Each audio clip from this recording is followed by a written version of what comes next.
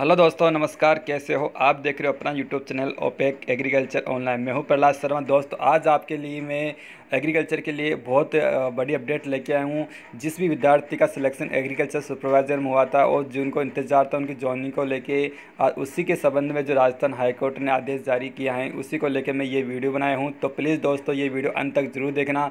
और अगर आपको ये वीडियो अच्छी लगे, आपको ये न्यूज़ अच्छी लगे, सही लगे ऑथेंटिक लगे तो दोस्तों please like subscribe and comment करना ना भूलिए, क्योंकि आग अगर, आप अगर सब्सक्राइब लाइक करते हो तो हमें प्रमोट मिलता है, जिससे हम आपके लिए नए नए न्यूज़ या आपको लिए क्वेश्चन या जो एग्ज़ाम रिलेटेड क्वेश्चन है वो लेके आते हैं, जिससे हमें प्रमोट मिलता है। तो दोस्तों, अपन टाइम वेस्ट नहीं करते हुए आज की जो न्यूज़ हैं वो हैं कि इंतज़ार हुआ ख़त्म, हाईकोर्ट ने जारी किया आदेश। कृषि पर्यवेक्षक से अट्ठारह पदों पर नियुक्ति दी जाए। जो भी दोस्तों जो अट्ठारह पदों की जो कृषि सुपरवाइजर वैकेंसी थी उसकी नियुक्ति को लेकर जो अक्टूबर में 2000 2019 अक्टूबर में जो इस पर हाईकोर्ट ने रोक लगाई थी याचिकर्ताओं के द्वारा क्योंकि दोस्तों उस, समय जो टी जो एरिया थी उसके संबंधित कुछ मिस्टेक थी या कुछ गड़बड़ थी सीटों को लेकर कि उनको जोनिंग दी जा रही लेकिन सीटें नहीं बढ़ाई बढ़ाई जा रही तो इसको लेकर उस पर रोक लगा दी गई थी। लेकिन अब क्या किया जो वर्तमान वर्तमान समय में, जो राजस्थान में ये जो टिड्डी आक्रमण हो रहा है, जो एक टिड्डी दल आ रहे हैं, उनसे जो फ़सलों का नुकसान हो रहा है, उसको देखते हुए राजस्थान हाईकोर्ट ने ये आदेश जारी किया गया है, जो भी कि एग्रीकल्चर सुपरवाइज़र अट्ठारह पद हैं, उन पर जल्द से जल्द नियुक्ति दी जाए। तो दोस्तों, आज मैं इसी वीडियो में ये बताऊँगा कि उनको नियुक्ति कब मिलेगी, किस डेट को मिलेगी यह सब मैं आपको इस वीडियो में बताने वाला हूँ। तो दोस्तों, वीडियो को अंत तक ज़रूर देखना, मैं आपको लाइव प्रूफ बताता हूँ। तो चलते अपन अगली स्लाइड की ओर। दोस्तों, ये स्लाइड है आज की, जिसमें ये न्यूज़ है राजस्थान पत्रिका की। इसमें ये लिखा गया है कि टिड्डी हमले को देखते हुए हाईकोर्ट ने रोक हटाई। अट्ठारह कृषि परीक्षों के पदों पर नियुक्ति के निर्देश दिए। यानी कि जो टिड्डी हमला हो रहा है जो भी राजस्थान में, उसको देखते हुए राजस्थान हाईकोर्ट ने अठारह सौ बत्तीस जो कृषि परीक्षक के पद थे, उन पर नियुक्ति के निर्देश दे दिए गए। तो मैं आपको पूरा पढ़ के बता देता हूँ कि इसमें क्या क्या लिखा हुआ है।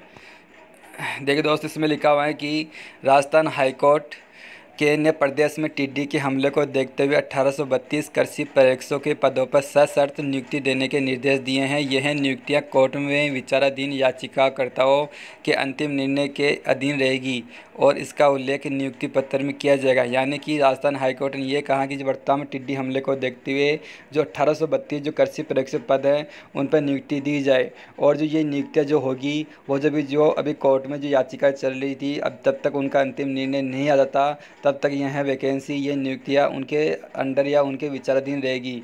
और इसका उल्लेख जो आपकी जो ज्वाइनिंग लेटर होगा, उसमें लिख दिया जाएगा। आगे देखते हैं कि न्यायाधीश अरुण बंसाली ने याचिकाकर्ता भरतलाल मालवीय सहित अन्य द्वारा दायर याचिका में या राज्य सरकार की ओर से नियुक्तियों पर लगी रोक को हटाने के लिए प्रार्थना पत्र को निस्तारित करते हुए ये कहा कि टिड्डी हमले को देखते हुए यह समय की ज़रूरत है कि कृषि परीक्षों की नियुक्ति पर लगी रोक को हटा दिया जाए। यानी कि जो न्यायाधीश अरुण बंसाली जो ये याचिका करता है, भरतलाल मालवीय और जो अन्य जो याचिका करता है, उनकी याचिकाकर्ताओं में जो राज्य सरकार की जो नियुक्तियाँ हैं, उन पर जो जो रोक लगाई थी, उनको हटाने के लिए और ये कहा गया कि जो वर्तमान समय में जो टिड्डी हमला है, उनको देखते हुए अभी फ़िलहाल में जो कृषि पर्यवेक्षक हैं, उनकी ज़रूरत पड़ रही है।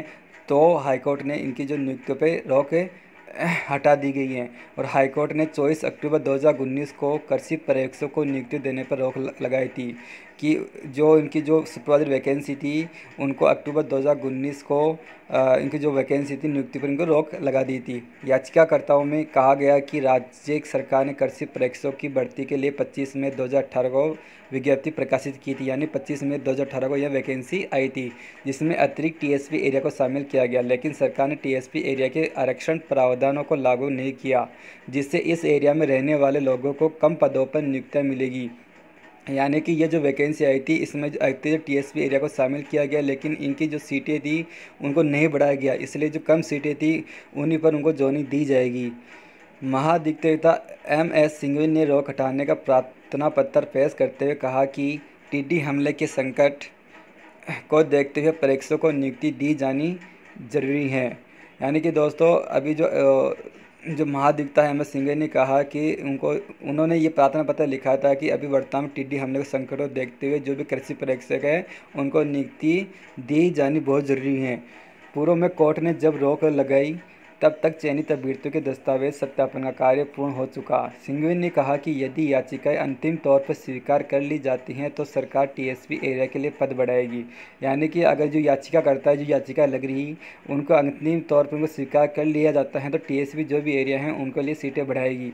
और उन्होंने कहा कि चयनित अभ्यर्थियों को नियुक्ति देने से याचिकाकर्ताओं के अधिकार प्रभावित नहीं होंगे। एकलिप्ट एकल पीठ ने सरकार की सहमति को देखते हुए कहा कि याचिकाकर्ताओं की प्रार्थना स्वीकार होने की स्थिति में सरकार को पद बनाने होंगे और चयनित अभ्यर्थियों के नियुक्ति पत्र में इस आशय का उल्लेख किया जाए कि यह याचिका के अंतिम निर्णय के अधीन होगी। मैंने कुल मिला के यह है कि आपकी अभी ज्वाइनिंग दे दी जाएगी और आपका जो ज्वाइनिंग लेटर होगा उसमें ये लिखा रहेगा कि जितनी याचिकाएँ लग रही हैं, जब तक उनका अंतिम निर्णय नहीं आ जाता, तब तक आपकी जो भी ये नियुक्तियाँ हैं, उसके विचाराधीन रहेगी। अगर उनकी जो याचिकाकर्ताएँ अंतिम रूप से स्वीकार कर ली जाती हैं जो टीएसपी एरिया की सीटें हैं, उनको बढ़ा दिया जाएगा और जो भी जो भी जो विद्यार्थी वेटिंग में उनका सिलेक्शन कर लिया जाएगा और आपकी जो भी नियुक्ति है, वहीं के वहीं वहीं सुचारू रूप से जारी रहेगी। दोस्तों, ये थी आपके लिए बहुत बड़ी खबर और जल्द मान के चलो, आपको जून में नियुक्ति दे दी जाएगी। मैं तो ये कहना चाहूँगा कि आपको अगले दस दिन में जॉइनिंग दे दी जाए। दस दिन क्या माना? आप तो पाँच दिन मान के चलो, क्योंकि अभी वर्तमान में टिड्डी जो हमले हो रहे हैं, उसको देखते हुए अगले पाँच दिन में आपको जॉइनिंग दे दी जाएगी। तो दोस्तों, ये थी आपके लिए बहुत अच्छी खबर। दोस्तों, अगर आपको वीडियो अच्छा लगा, अगर न्यूज़ अच्छी लगी तो दोस्तों, like and subscriber and comment करना नहीं भूले। दोस्तों, मैं आपको ये बता देता हूँ कि एक और ही भास्कर न्यूज़ है, दैनिक भास्कर। वो भी आप देख लो कि हाईकोर्ट ने सात माह बाद हटाई अठारह कृषि परीक्षों की नियुक्ति से रोक। यानी कि जो इस पर जो रोक लगी थी, उसका सात महीने हो चुके थे। यानी सात महीने बाद अठारह जो पद थे, उन पर उनसे जो रोक हटा दी गई है। आगे बढ़ते हैं कि टिड्डी हमले के मद्देनजर सरकार ने मांगी थी राख। यानी गवर्नमेंट सरकार ने हाईकोर्ट से ये मांगी थी जो टिड्डी जो हमला और उसको मद्देनजर रखते हुए सरकार ने हाईकोर्ट से प्रार्थना की थी कि उनको नियुक्ति दे दी जाए। प्रदेश में टिड्डी हमले से चिंतित राज्य सरकार को हाईकोर्ट ने बड़ी राहत दी। कोर्ट ने करीब सात माह से कृषि प्रेक्षकों की नियुक्ति पर लगी रोक बुधवार को हटा दी गई है। अब उनकी नियुक्ति का रास्ता साफ़ हो गया है। हालाँकि कोर्ट ने कहा कि भविष्य में याचिकाकर्ता का तर्क स्वीकार हुआ तो उस समय उन्हें नुकसान नहीं हो। इसके लिए सरकार पर बढ़ाएगी बढ़ाएगी पद बढ़ाएगी। मामले के अनुसार राजस्थान अधीनस्थ कर्मचारी चयन बोर्ड ने कृषि प्रेक्षकों के अट्ठारह पदों के लिए पच्चीस मई दो हज़ार अठारह को आवेदन मांगे थे। इनमें दो पद टीएसपी क्षेत्र के लिए निर्धारित थे। इससे पहले केंद्र सरकार ने 19 मई 2018 को एक नोटिफिकेशन जारी कर प्रदेश में टीएसपी एरिया को बढ़ाते हुए कुछ अन्य क्षेत्र, क्षेत्रों को भी शामिल कर दिया। इसी को हाईकोर्ट में चुनौती दी गई थी। चौबीस अक्टूबर 2019 को हाईकोर्ट ने नियुक्तियों पर रोक लगा दी थी। तो दोस्तों, आपको ये फ़ोटो में आप ये देख सकते हो कि इनमें ये जो टिड्डी दल हैं, उनको देखते हुए सब कुछ राजस्थान सरकार ने हाई कोर्ट से ये प्रार्थना की थी कि इन टिड्डी हमलों को देखते हुए जो भी सुपरवाइज़र हैं, कृषि सुपरवाइज़र हैं, उनको नियुक्ति दे दी जाए। लेकिन आपकी जो ये नियुक्ति है अभी जो याचिका करता है चलिए, उनके विचाराधीन रहेगी जब तक उनका अंतिम निर्णय नहीं आता। तो दोस्तों, यह है दैनिक भास्कर की न्यूज़, और पहली बार मैं आपको दिखाया था राजस्थान पत्रिका की न्यूज़। और यह है जो फैसला है, जो ये निर्णय है, बुधवार को लिया गया था तो अगले पाँच दिन में आपकी ज्वाइनिंग मिल जाएगी। धन्यवाद। दोस्तों। बेस्ट ऑफ़ लक आपकी ज्वाइनिंग के लिए। एंड दोस्तों, आपको वीडियो अच्छा लगा please like subscribe and comment ज़रूर करें। मिलते हैं एक और न्यूज़ के साथ। अगले वीडियो में धन्यवाद। Thank you